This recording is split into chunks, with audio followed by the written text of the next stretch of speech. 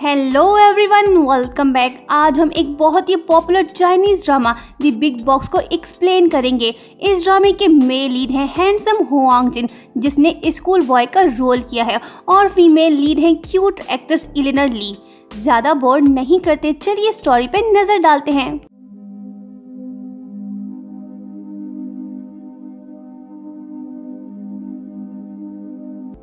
कहानी की शुरुआत में हम देखते हैं इस ड्रामे की हीरोइन येजी को जो कि तैयारी शैयारी में है, उसे कहीं जाना है। दूसरी तरफ़ ड्रामे का हीरो डैनी फ़ौरन बेड से उठता है, उसे भी कहीं जाना है। दरअसल इन दोनों का आज हायर स्कूल में फ़र्स्ट डे है।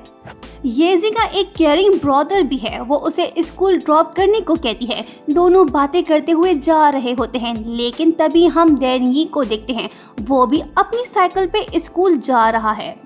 येजी की जब उस पर नज़र पड़ती है तो कहानी फ्लैशबैक में चली जाती है और दिखाया जाता है कि ये दोनों किंडरगार्टन में एक ही स्कूल में थे।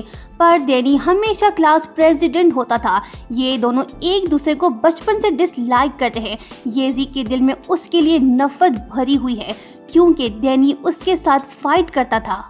अब आते हैं प्रेजेंट में। येजी का ब्रदर दैनिये को जानता है, पर येजी आके दैनिये से कहती है कि थैंक्सफुली नाइन इयर्स मैंने तुम्हारे साथ बर्बाद किए। अब मैं न्यू स्कूल जा रही हूँ। दैनी उसे कोई जवाब नहीं देता।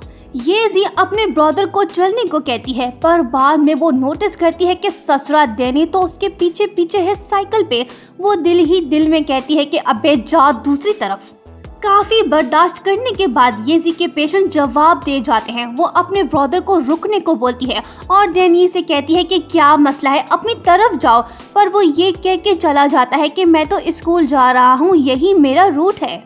उसके बाद हम रिच गर्ल शिन को देखते हैं। वो भी स्कूल जा रही है।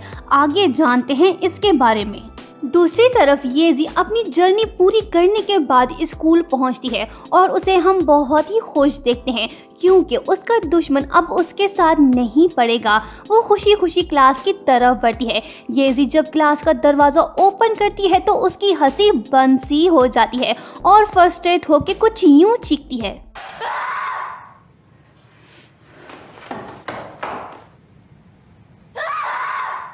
आखिर उसे क्लास में जाना पड़ता है। वो गुस्से में अपने आप से कहती है कि ये क्यों है इस क्लास में? देन ये कहता है कि एक कोर्स मिस करके।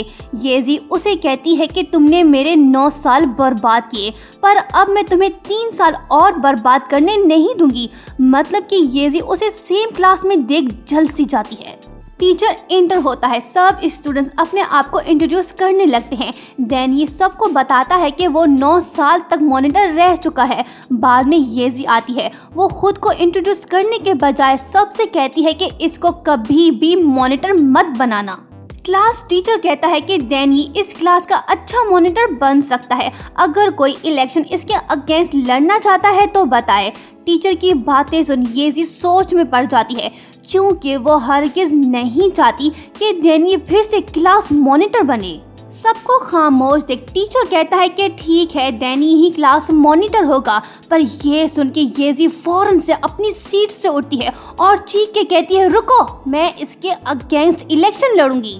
टीचर कहता है, ओके, कल इलेक्शन होगा, तुम दोनों टाइम पे पहुँच जाना। देन ये जी से कहता है कि, ये तुम क्या कर रही हो? वो कहती है, तुम्हें रोक रही हूँ। उसके बाद नेक्स्ट डे हम बेचारे डैनी को स्कूल आते देखते हैं, पर बिग बॉस यानी ये जी भी आ रही होती है। वो उसे देख बहानेबाजी से उसका बैग छीन के फेंक देती है, ताकि डैनी स्कूल टाइम पे ना पहुँचे और वो एक्साइटेड होके गलत डायरेक्शन में निकल पड़ती है। येजी की साइकिल का बाद में एक्सीडेंट होता है। रिच गर्ल शिनही की कार से। वो लड़की उसे पैसे देती है ताकि मैटर एंड हो जाए और उसे बताती है कि तुम गलत रास्ते जा रही हो। लेकिन येजी को पैसों की फ़िक्र नहीं। उसे अपने दुश्मन को मॉनिटर बनने से रोकना है। वो पैसे उसके मुँह पे मार के चली जाती है। दूसरी तरफ़ हैंडसम बॉय डैनी स्कूल पहुँच के इलेक्शन स्पीच शुरू करता है।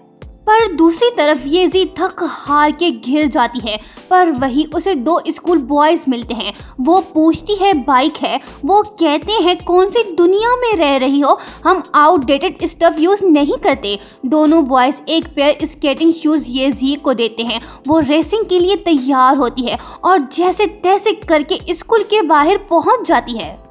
दोनों बॉयज़ क्लास पहुँच के टीचर को मॉनिटर नेम अनाउंस करने से रोकते हैं और कहते हैं कि पहुँच चुकी हमारी बिग बॉस येजी आके अपनी स्पीच शुरू करती है। पहले तो वो शर्मीली लगती है, पर बाद में अपने दुश्मन दैनिये को देख वो जोश में आ जाती है और वंडरफुल स्पीच देती है।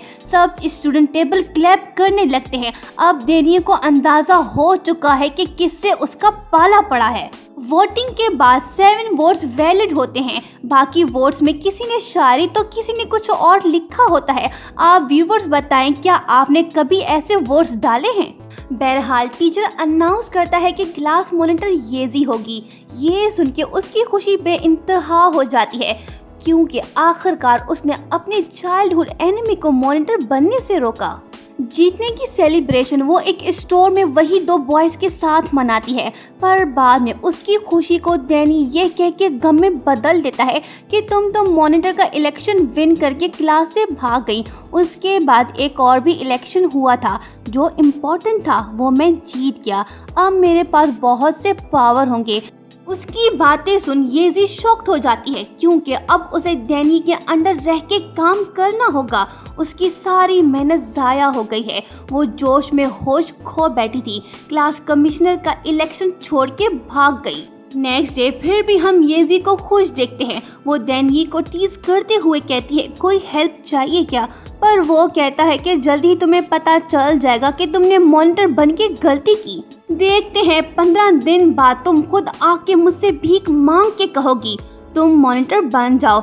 येजी कहती है, सपने मत देखो, ऐसा कभी भी नहीं होगा।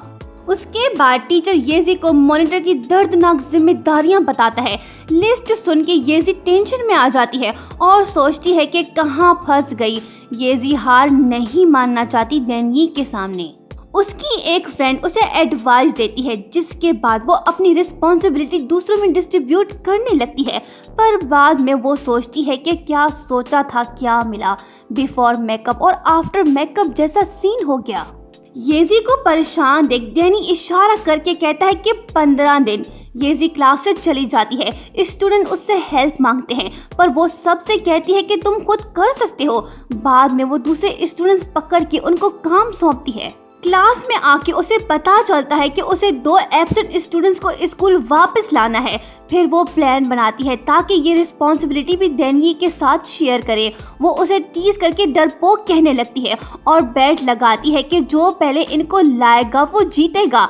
At the end Danny bet accept करता है।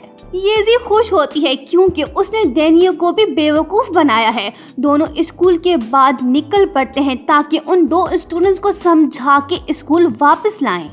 येजी जाती है फीमेल स्टूडेंट जूशन के पास और उसे समझाने लगती है, पर वो स्कूल वापस नहीं जाना चाहती।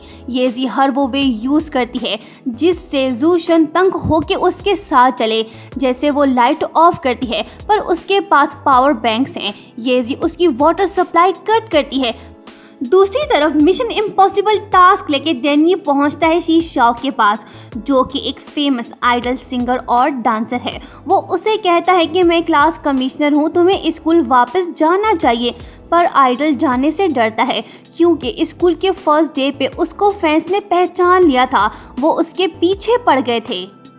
एट दी एंड वो मान जाता है, दूसरी तरफ़ जूशन हार मानती है, वो भी चलने को तैयार होती है। डैनी और येजी दोनों को ले आते हैं स्कूल, पर वो दोनों फिर से लड़ पड़ते हैं। येजी उसे कहती है कि मैं तुमसे बहुत नफरत करती हूँ, मैं कभी भी तुम्हें मॉनिटर नहीं बनने दूँगी और इसी के साथ फ़र्स्ट पार्ट एंड होता है।